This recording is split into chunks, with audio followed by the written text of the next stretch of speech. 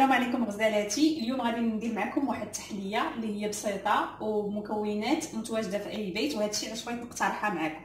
أنا غادي نبداو اولا بالمكونات. عندنا bien sûr إطرو ديال الحليب غادي نديرو معاه ربعة ديال المعالق ديال المايزينا عندنا واحد الياغورت وجوج أكياس ديال الفانيلا ومن طبيعه الحال عندنا السنيده غادي نديرو ربعة ديال المعالق كبار. نبداو على بركة الله. كنبداو بالحليب عندنا إطرو كما قلنا. بسم الله.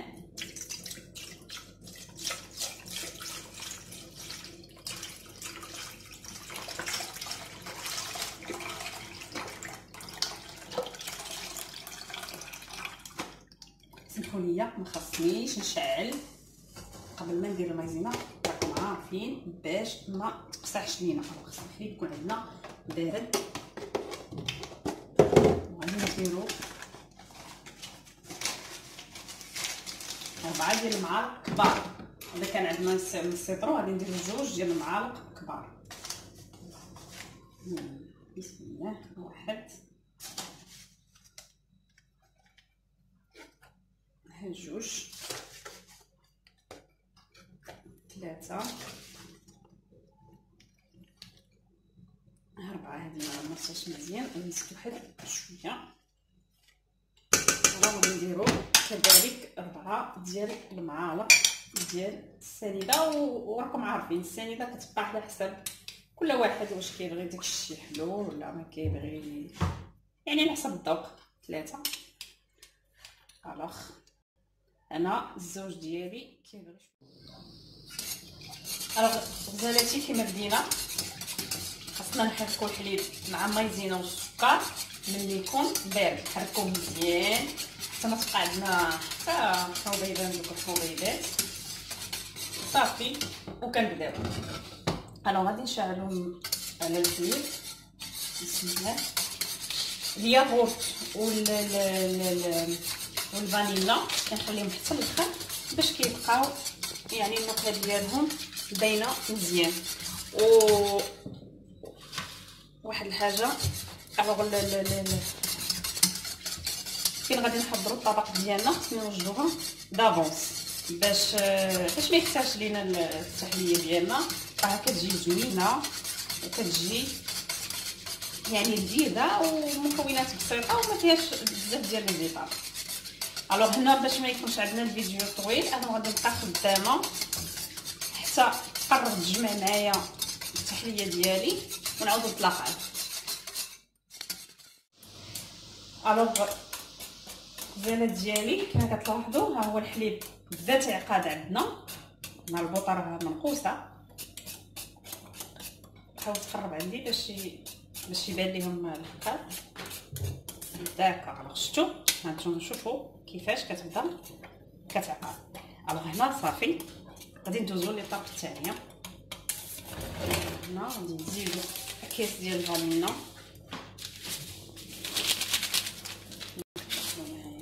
عندنا جوج ديال الأكياس. وغادي نزيدو الياغورت نحاولوا نزيدو الأكياس ديال الفانيلا والياغورت وهذا الشيء مازال عندنا. يعني يلاه حيدنا من البوطة باش المكونات تندمج معنا صافي وهذه هي التحليه ديالنا بقى لينا غير نصبوها في الطبق ديال اطباق ديال التقديم ونعاود نتلاقى معكم من بعد التزيين كاين اللي بغى يزين يعني يدير تزيين يديرو اللي ما بغاش يدير يخليها هكاك سافل. ممكن تبقى هكاك simple أنا غادي نزينها غير بشوية ديال اللوز.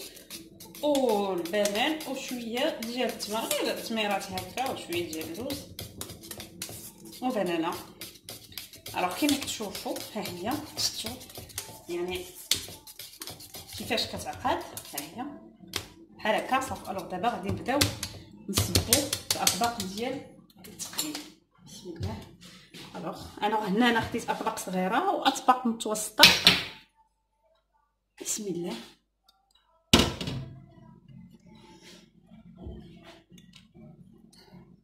حيت تنبغي ناكلو آه، شوية حنا راه هاد التحلية راه حنا دايرها أنا في رمضان.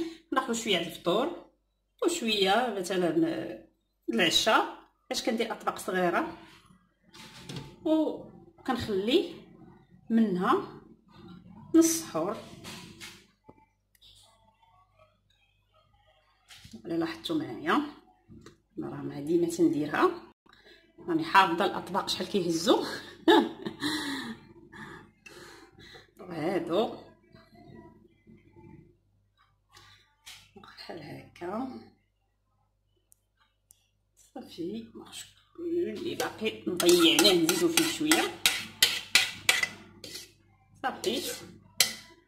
لاحظتوا معايا هي دغيه تتعقد تقريبا راه دابا شادة la forme ديالها. alors الغزاله ديالي هذه هي التحليه ديالنا اللي قلنا غير بدا بياغورت. وبجوج اكياس ديال الفانيلا والنشا والحليب والسنيده دابا بقى لنا نحطوها جنب واحد شوية بين ما بردات وابخي ندخلوها للثلاجه وعند التقديم كنديروا ليها التزيين خليكم دابا نتلاقاو في مرحلة ديال التزيين يلا بسلام عليكم.